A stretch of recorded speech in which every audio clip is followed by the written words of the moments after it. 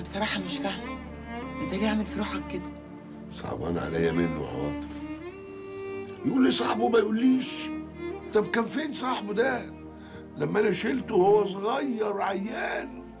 وقعت بيه من على سلم المستشفى وخدت الوقعه على ظهري عشان هو ما يتعورش. وهو كبر يا إسماعيل وهو اللي شايل روحه دلوقتي. أنا كنت فاكر إن أنا لما أكبر هو اللي هيشيلني. أنا مش مصدقة كلام عماد. مش يمكن سعيد مستخبي في حتة وعماد بيقول كده بس عشان ما ندورش عليه. فكرك كده؟ استغفر الله العظيم مش عارفه بقول لك إيه؟ لا فكرك ولا فكري. أنت شاغل نفسك بسعيد زيادة عن اللزوم. آه. ادعي له بس. ربنا يسهله وسكته يا رب. وانساه. انساه يا اخويا وفكر في عيالك.